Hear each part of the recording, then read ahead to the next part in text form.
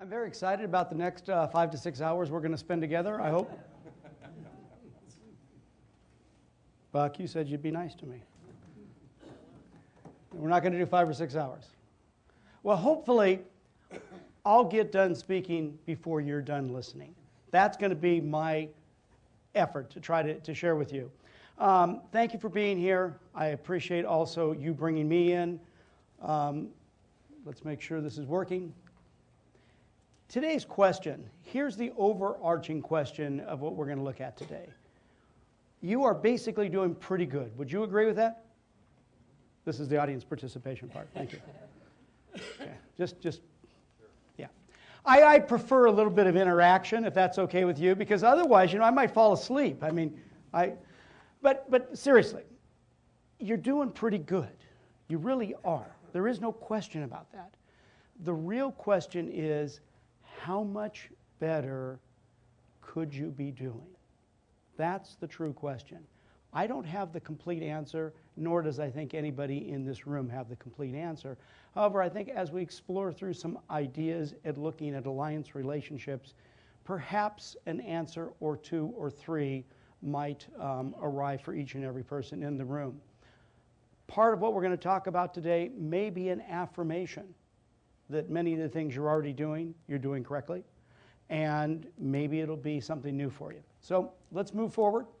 I'm going to talk to you about seven steps for developing alliance relationships. I'm going to talk to you about four behaviors for making collaborations work.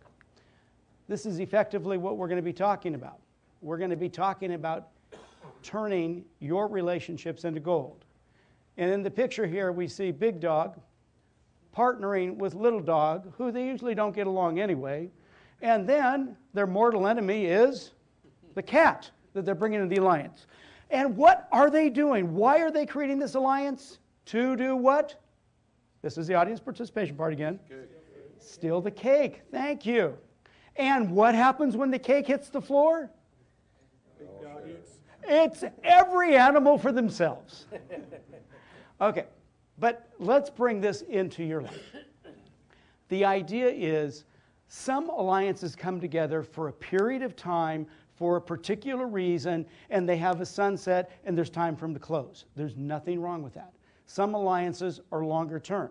Some alliances maybe have a specific purpose, but they have an expiration date, or maybe some people aren't going to want to renew. However, there's still value in looking at how we create our alliances, what we do to make them work.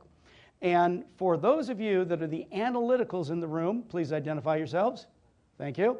Uh, just so you know, I've added a few extra slides, so you will probably go crazy, um, and I apologize for that ahead of time.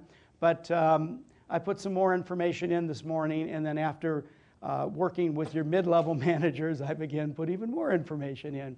So uh, there will be a few extra things, but you'll have access to those slides afterwards. So I understand this is a little bit about what your life is about. Are you trying to do more with less? How many of you dealing with that? And does this kind of a situation create something like this for you, where you feel like you're going from one fire to another fire? Absolutely, absolutely. Well, this uh, uh, chart is probably about as academic as I'm going to get, so you can kind of relax.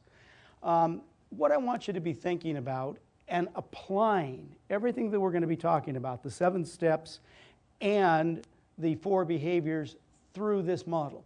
And so ultimately, Spirit wants growth and profitability. Am, am I on, on target here? Okay, that's, you know, duh, yeah. And what we're looking at is the various silos and business units. We've got employees that are stakeholders, customers that are stakeholders, you've got various units that are stakeholders, suppliers that are stakeholders, and government always gets into it too. And what we want to do is create alliance relationships among these areas. And they're going to be on the foundation of the leadership, which is you. Now, in California, where I'm from, I am from the land of fruits and nuts, okay, just so you understand who you're dealing with here. We have earthquakes and we've got some pretty crummy soil.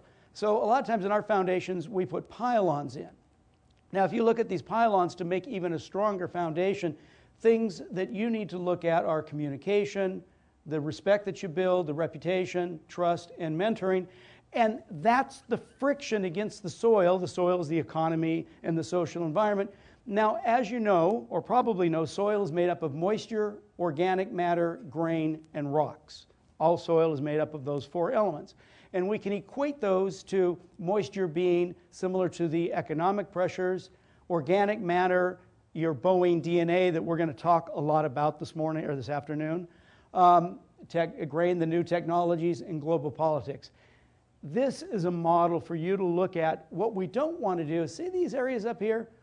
If one area is growing and the other isn't, what's going to happen to the roof? It's going to come crashing down. So we need to look at how do we do this, build these alliances in all these areas.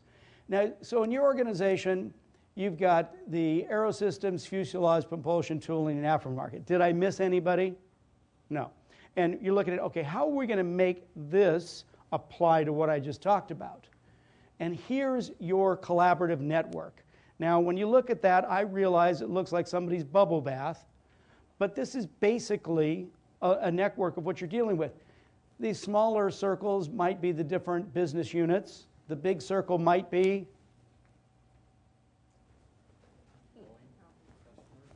No? Thank you. Boeing, yeah. The big circle might be Boeing, okay? And, and the others may be suppliers and customers.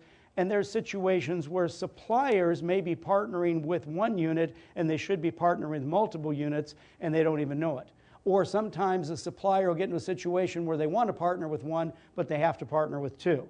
There's a lot of different issues, but the point I want to bring up is in your organization, you're going to have more of a collaborative network than just simply a partnering relationship.